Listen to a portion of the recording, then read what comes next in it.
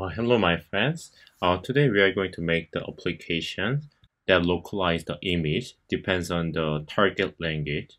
So before I already made a translation application for just the text. So this is that uh, tutorial. But in this video, more than just the text, we will also localize the just the image. So if you see this application, when I click the different language, so I even change the image like this, not just for the text.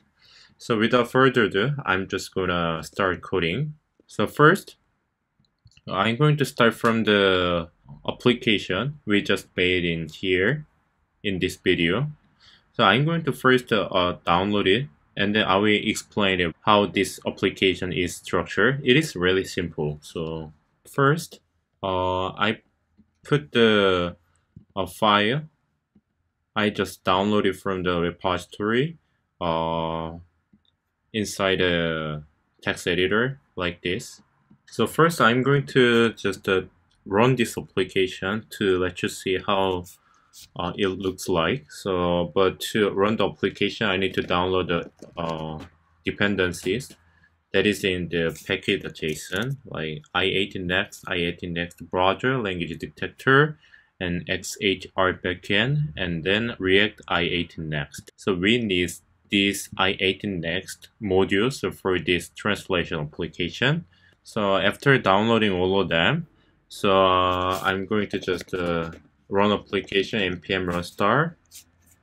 So now you can see this application. By clicking different buttons, we can change the language. So if you see inside the SRC, you can see the file named i18n.js. This is all the configuration for the i18 next module. You can see the fallback language. If there is no language available, we will just use the English language. And then we need to specify the available language we want to use for the translation. In here, English and Korean and Chinese. And more options in here. So, and if we come inside the public folder, you can see the locale folder. And there is the translation JSON file for each of the language like Korean and English and Chinese.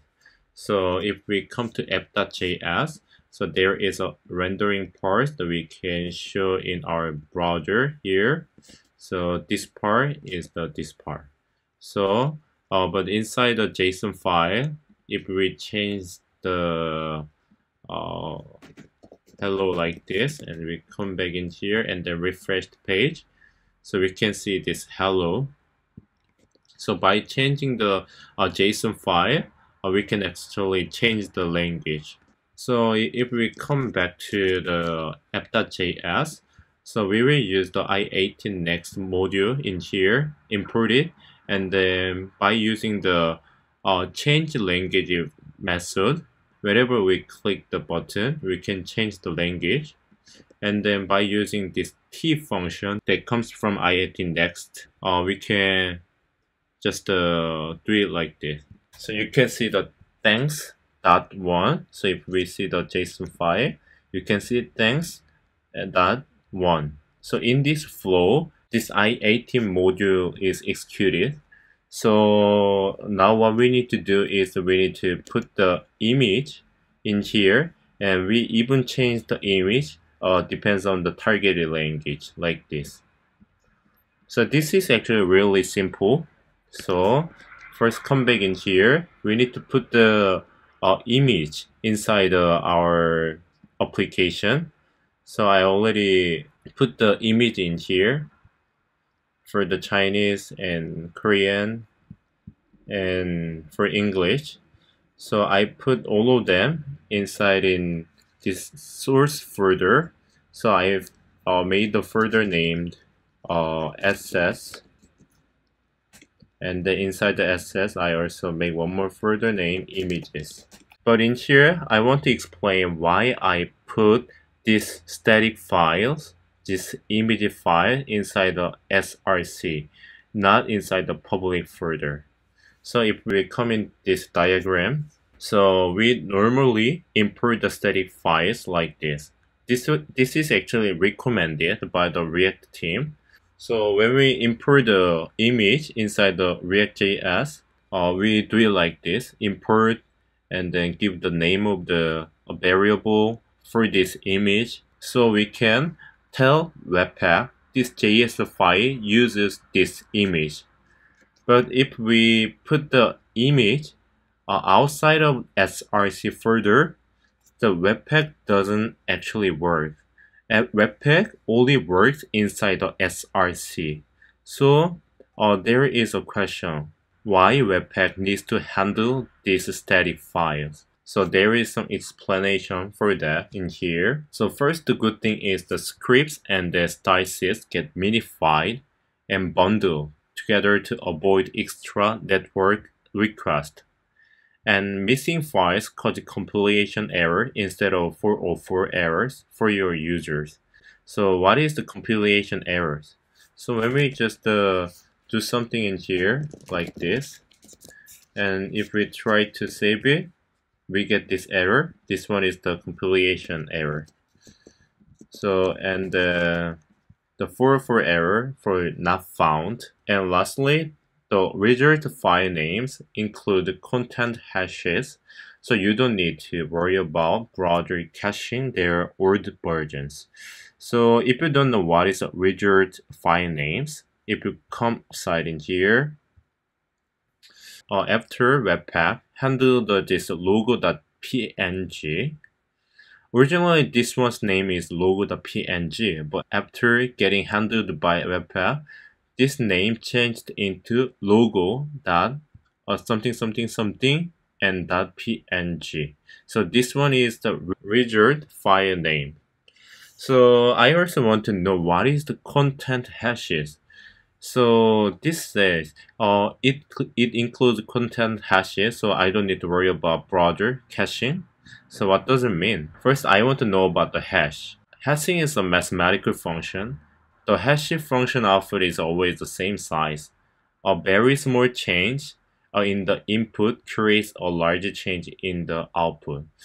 So I'm just going to generate the hash with the MD5 in here. So if I type just the hi and then I will generate it.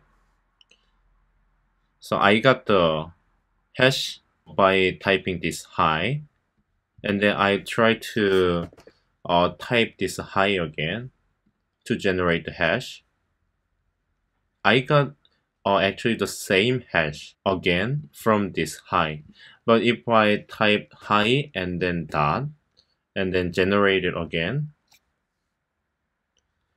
so you can see this hash becomes totally different even though we just put only one dot uh, at the end of this text.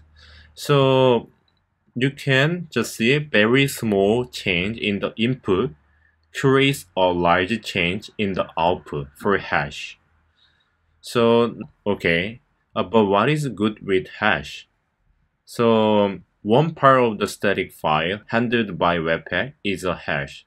So, we saw uh, this name, original name was the logo.png, but after getting handled by Webpack, uh, we put this hash uh, inside this name. So hash is one part of the name. So whenever we uh, change, whenever we make small change in the content of the file, we actually change the hash. That means we also change the name of the file. So every version of the file has its own unique name. So our static file can be cached forever. So what is good of caching? So by caching our static file, we can actually load the static file way faster because it is already cached. So that is why uh, it is good to put the static file uh, inside the SRC folder. So we need to keep going to make our application. So we already put the images in here and we need to import the uh, image like this. Import the image variable and then from the image. So first image uh, in from for the English. We get it from the assets and images and what is the name of the that image? Uh, things and things and in and png and import the image the korean version from uh, assets and image and things and code.png and lastly import the image uh, assets images and things uh, China PNG like this we imported all the images in here. And now it's time to just put the image uh, in here instead of just a normal logo we got from the React. We just uh, delete this part too. So now we need to make this source uh, conditional when we click the Korean we need to see this Korean image and when we see this one Chinese image and English image. So we need to make this one conditional. So first uh, how we make it conditional is the, if we come to the website and then if we go to the application tab here application tab and then go to the local storage you can see this key and value of the i18 next language and then English. But if I click the Korean, so you can see this value has changed into Korean and click the Chinese, or you can see this Chinese. So by using this one, the story in the local storage, we will make it conditional. So it is like this, local storage, get item, and then i18 next, and lng. If this one is uh, en, like this one en, so we will make we will use this uh, image English. But if this one is not en, uh, we can also do this again. Get item and if this one is Korean, I need to do it like this so you can see the whole line. Uh, not not cool, I'm sorry. I18 next then, again. So if this one is the uh, cool, we need to uh, bring this Korean image. But ah, need to give this one Korean image. Uh, if not, we only have one image left that is for the Chinese. So we can do it like this. So I save it, I come back to our application. So here you can see this application. So I try to click the different language. So Korean and Chinese, uh, like that. So it works really well. So thank you for watching this video and I hope you will have a nice day and see you in the next video. Thank you.